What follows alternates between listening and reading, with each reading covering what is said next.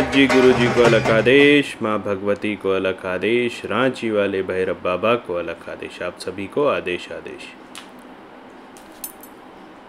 आज हम उस महापुरुष की, साधक की, अवधूत की या अघोरी की बात करने वाले हैं, जिनको बनारस का महादेव बोला जाता था। वो शिव जो बनारस की धरती पर चलते थे। इनके बारे में खोज तब शुरू हुई जब मैंने अपने एक वीडियो में आप लोगों को बताया था कि एक कथा है जिसमें एक गुरु ट्रेन पे चढ़ते हैं, टिकट नहीं होने के चलते उनको उतार दिया जाता है। और फिर जब तक उनको वापस नहीं चढ़ाया जाता ऐसा सामान, तब तक ट्रेन नहीं चलता। तो मैंने बताया था कि ये जो कहानी ये कई साधुओं के बारे में बोली जा चुकी है। लेकिन ये बंगाल के साधु थे जिन पर, जिनकी ये घटना है।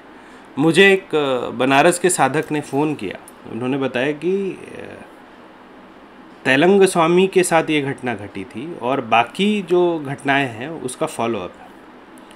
तो इससे मैंने शुरू किया तेलंग स्वामी के कथाओं को पढ़ना। और आज शनिवार की कथा में मैं तेलंग स्वामी की कथा आप लोगों को बताऊँगा। तेलंग स्वामी जो कहता है कि हिंदू अध्यात्म क्या है, तेलंग स्वामी 300 साल तक जिए थे।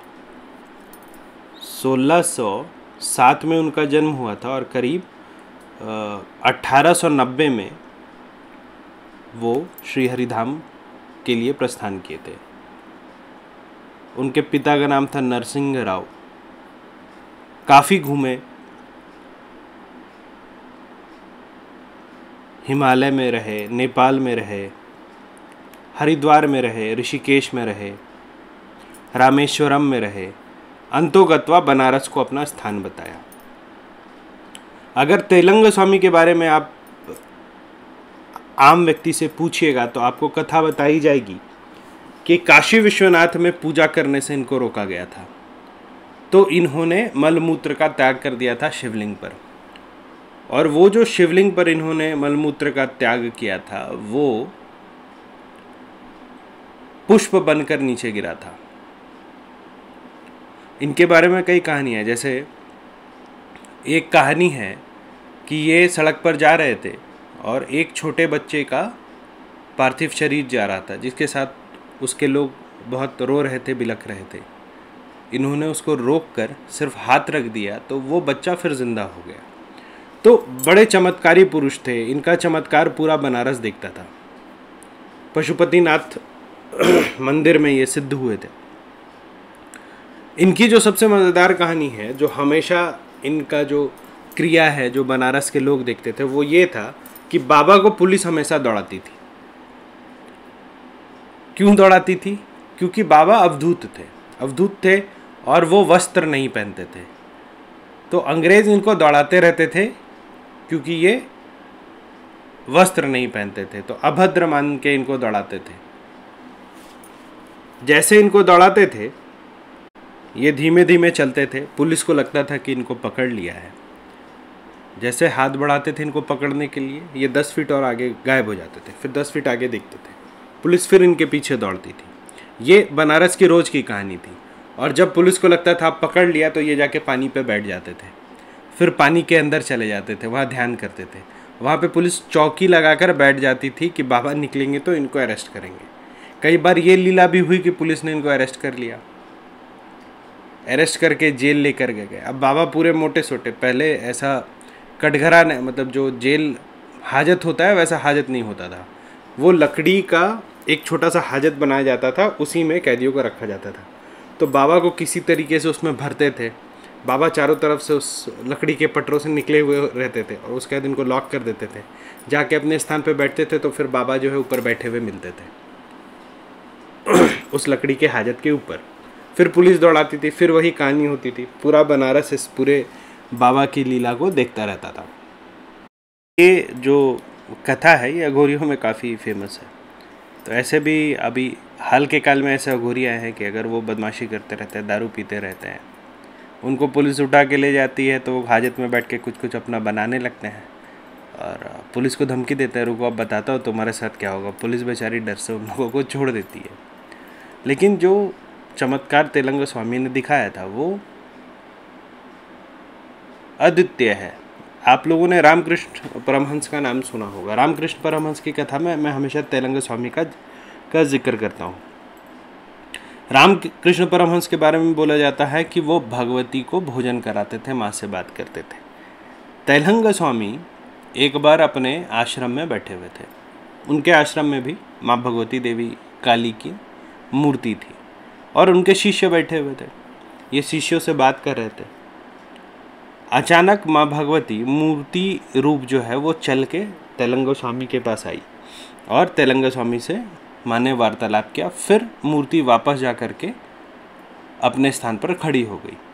ये बहुत बड़ा चमत्कार था सबके लिए। जो वहाँ पर बैठे हुए थे, सब हतप्रभ थे। जितने शिष्य बैठे थे, सारे हतप्रभ थे कि माँ भगवती खुद मूर्ति थी। अभी अभी आ करके बाबा से बात किया और उसके बाद फिर वापस जाके मूर्ति बन गई।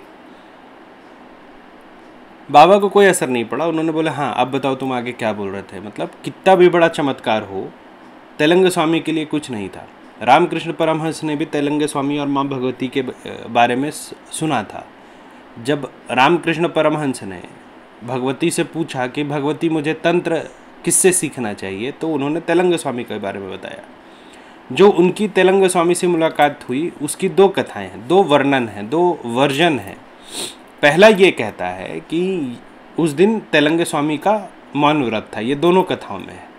पहली कथा ये कहती है कि रामकृष्ण परमहंस और तेलंग स्वामी मौन में ही घंटों बात करते रहे और एक दूसरे की बात समझते रहे। दूसरा कहता है क्यों क्योंकि रामकृष्ण परमहंस बड़े ही बाल स्वभाव के थे तो वो तेलंग स्वामी पर रुष्ट हो गए। तेलंग स्वामी से वो मिलने गए। तेलंग स्वामी ने इशारा में उनको बोला कि चलो नौका विहार करते हैं। तो दोनों नौका विहार कर रहे थे। रामकृष्ण परमहंस जी, जो बच्चे की तरह थे, वो पूरा तेलंग स्वामी को कथा बता रहे थे कि, माँ से मैंने पूछा कि तंत्र की विद्या किससे सीखूं? उन्होंने आपके बारे में बताया, मैं आपके पास आया हूँ, आप मुझे तंत्र की विद्या दे दो। तेलंग स्वामी जी मौन व्रत पे थे, वो सिर्फ़ घूरते जा रहे थे। रामकृष्ण परमहंस जी को लगा कि ये मुझे वैल्यू नहीं दे रहा है, ये मेरी बात को हल्के में ले रहा है। तो वो नाराज़ हो गए। उन्होंने बोला कि, तुम्हारे जैसे अकड़ वाले इंसान से कौन तंत्र सीखेगा? और ये बोल करके वो बनारस से वापस कलकत्ता आ गए। अंतोगत व मृत्यु से पहले रामकृष्ण परमहंस ने तंत्र की दीक्षा ली। किससे ली? तेलंग स्वामी की जो सबसे छोटी शिष्या थी, वो गुरु बनी रामकृष्ण परमहंस कर कहा जाता है कि इसी प्रकरण के चलते माँ रामकृष्ण परमहंस पर रुष्ट हुई थी और उनकी जो अकाल मृत्यु हुई थी, उसका कारण ये जो पूरा एक माया रचा गया था, वो था। जब तेलंग स्वामी बनारस के बदले जब नेपाल में रहते थे, पशुपतिनाथ में रहते थे तो ये जंगलों में रहते थे। राजा वहाँ शिकार करने आता था। जानवर जो थे, वो भाग के तेलंग स्वामी के पास आ जाते थे। और, राजा जब हट करे तो तेलंग स्वामी उन जानवरों का बचाव करता था और हमेशा जानवर उन्हीं के पास आते थे। तो इनकी ख्याति बहुत फैल गई। इनको सब देखने आने लगे। एक बार ये पशुपतिनाथ मंदिर गए हुए थे। राजा अपने परिवार के साथ आया हुआ था। राजकुमारी ने व्रत किया था। तेलंगा स्वामी अपने निजी स्वभाव में वहाँ बैठे हुए थे। राजा आए गए, कोई अंतर नहीं पड़ा। राजा राजकुमारी सबको लगा कि बड़ा दुर्व्यवहारी व्यक्ति है। उन लोगों ने भी ध्यान नहीं दिया। तेलंगो स्वामी पे अंदर घुस गए। पशुपतिनाथ के शिवलिंग के लिए राजकुमारी ने एक बहुत सुंदर हार खुद से बनाया था। और वर ये था कि उसको एक अच्छा वर मिल जाए। उन्होंने पशुपतिनाथ शिवलिंग को वो माला पहना करके वो वापस आ गए। जब वापस आए तो फिर इस हटी भिक्षु को देखा तो जो शिवलिंग पर माला चढ़ाया था, वो तेलंग स्वामी पहन कर बैठे थे बाहर। और मुस्कुरा कर बोले कि, ठीक है, जाओ, तुम्हारा काम हो जाएगा। तुम्हें जो पति चाहिए, वो तुम्हें मिल जाएगा। तेलंग स्वामी की अनंत कथाएँ हैं मतलब ऐसे लोगों को ठीक करना जो कि लंगड़े बहरे थे, मृत्यु हो चुकी है, उसको जीवित कर देना। नदी के आसपास हमेशा रहना। कहते हैं जब तेलंग स्वामी नर्मदा से पानी पीते थे तो नर्मदा का पानी सफ़ेद हो जाता था।